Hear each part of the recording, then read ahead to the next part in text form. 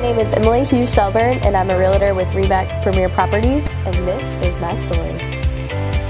Hey, I'm Phil Wunderlich. I'm here today at uh, Staple of the Highlands, Molly Malone's, with um, our top producing agent on our team, Emily Hughes, and I'm, I'm really excited for you to get to meet her and know her a little bit better. I've been with RE/MAX about five years now, and actually before I joined Jay's team, I was um, teaching fitness classes at BU Fitness. I actually still teach twice a week and I just really love the aspect of teaching and I love the community that BU is and it's just, you know, fun to help people reach goals in a different way other than real estate.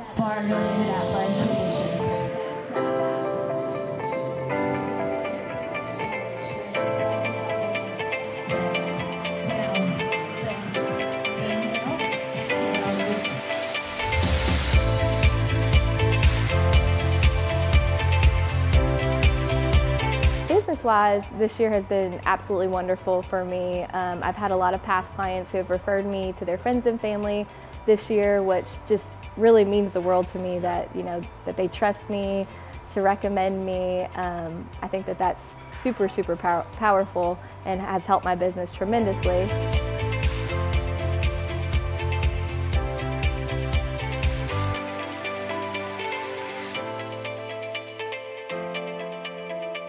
I love, you know, supporting local businesses.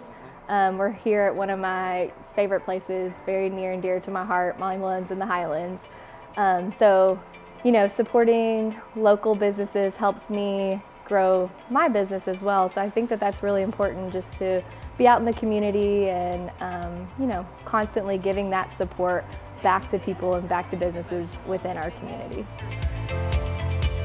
On a personal level, um, in 2020, we actually ended up canceling our wedding twice due to COVID. Um, so we finally were able to get married July this year. Uh, we did it in Key West.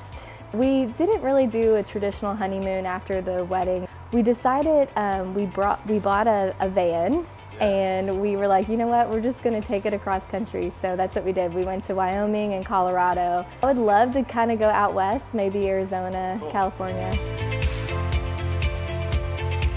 So back when I started about five years ago, there was probably only six or seven agents on the team. Yeah. Since then, we've, we've just grown and it's been really cool to be a part of that growth.